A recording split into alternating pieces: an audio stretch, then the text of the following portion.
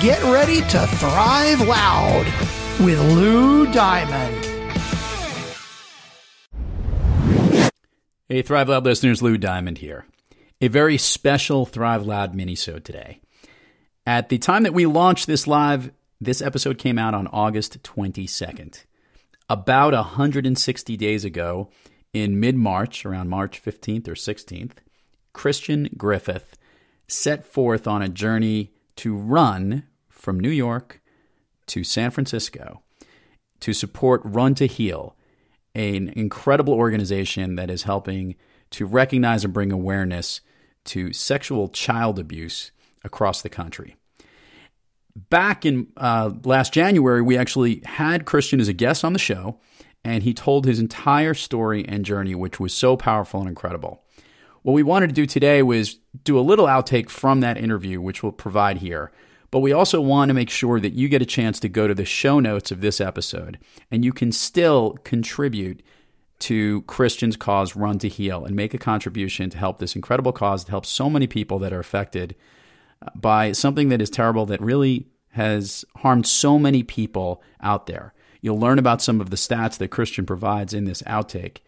And maybe more importantly, hopefully, this message will truly connect with you. So, as Christian actually touches the Pacific Ocean sometime today on August 22nd, to give you the stats, he ran about 114 days out of the last 160 days. That's averaging just about a marathon a day over this 23 week period. So, congrats, Christian, on this incredible cause and raising all the money that you have. And to the Thrive Loud fans and listeners out there, contribute and also enjoy this brief outtake with my earlier conversation with Christian Griffith. Who did you seek to go to to help fix you on the inside? Who helped? How did you work to improve a lot of that communication and the issues that you had from from a lot of years of abuse? What did you do? So I had uh, I did this event in Australia called the Survival Run Australia. Was a um, 80 kilometer race, number of challenges all through the outback of of um, of Queensland in Australia, and um, very very challenging race. Only six percent finish rate. Um, I met this amazing guy there who yeah. had an organization called Paddle Against Child Abuse or PACA, and you know, he had this huge smile. He was just, you know, he had been, uh, I don't know, men's GQ, something, something, cover of a magazine in Australia. He was just this awesome guy with this really negative past. And for some reason, I really connected with him. And I was a sponsored, sponsored amateur skateboarder as a kid. He was a skateboarder as a kid. He had a bunch of skateboard tattoos. So long story short, we connected. And uh, I learned that he had suffered a, a bunch of abuse as a kid. And we just really hit it off. And for whatever reason, we spent a lot of time talking. And he shared his story with me and I listened, but I didn't share mine because I was not in a place in my life where I was willing to talk about that yet. I remember I had packaged it up, put it away, and I was functioning great. Um, but there was something about that interaction that we had. And when I was flying back to Los Angeles from Australia, I, uh, I just, I fell apart. I don't know why, but all of this stuff started flooding out of me. I uh, then started communicating with Damien once I got uh, on the ground in LA and I could have Wi Fi. And from LA to Atlanta, I told my entire story to this guy. And it was like lifting a hundred pound weight off of me.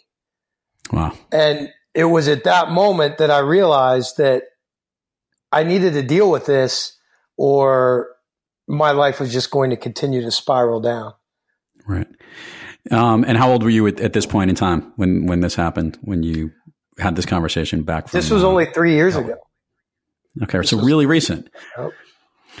So really recent, and and you've been, and by the way, thank you for sharing all this. This is this is powerful and important stuff, and and it takes incredible courage to you know to do this, to recognize this, and and I'm I'm glad to hear I'm talking to you today because you know that that that relief must have been tremendous.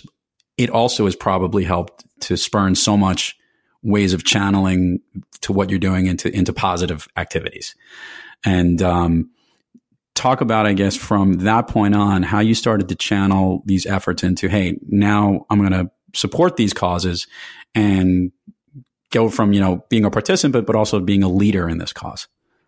Well, everything happens for a reason, right? And sure, I've, I've done over a hundred ultra marathons. I've done tremendous amount of events. And so I, I had this endurance background and now here I am in a stage of my life where I wanted to start turning my life around and I wanted to start doing really good for people.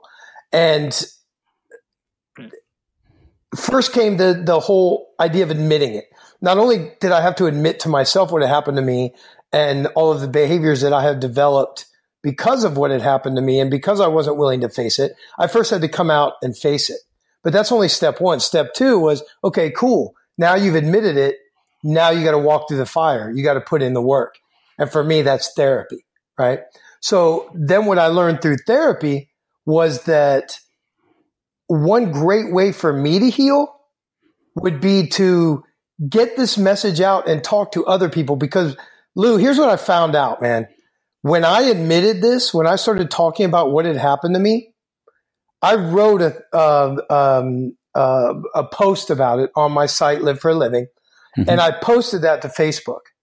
And when I posted that to Facebook, I sat back and I thought to myself, "Oh my God, what did you just do?" But I just couldn't take it anymore. I had to admit it.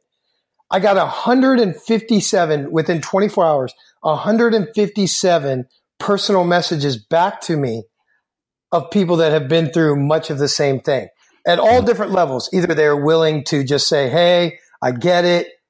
Don't worry. You're not alone to people who I was the catalyst for them spilling their entire story and everything in between. And it was amazing. And at that point, I realized that there's an army of us out there when you go to the Run to Heal website, you'll see the statistic, but one in three girls and one in six boys is sexually abused before the age of 18.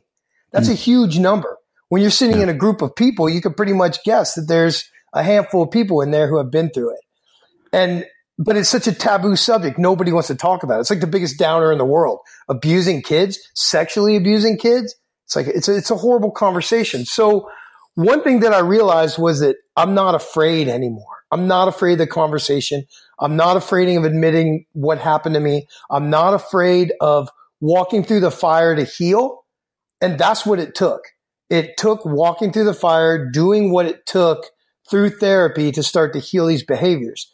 So now I want to go out there and talk to more people that this has happened to. And that's not going to be hard.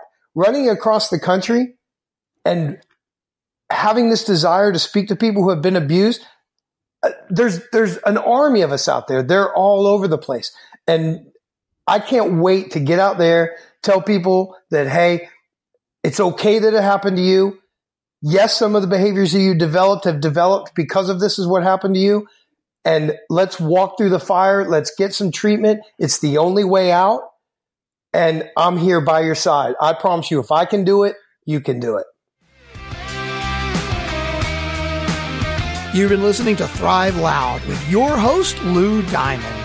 Make sure to subscribe on iTunes, Overcast, or wherever you get your podcasts. And follow us on Twitter, Facebook, and Instagram at Thrive Loud. Or find us on the web at thriveloud.com.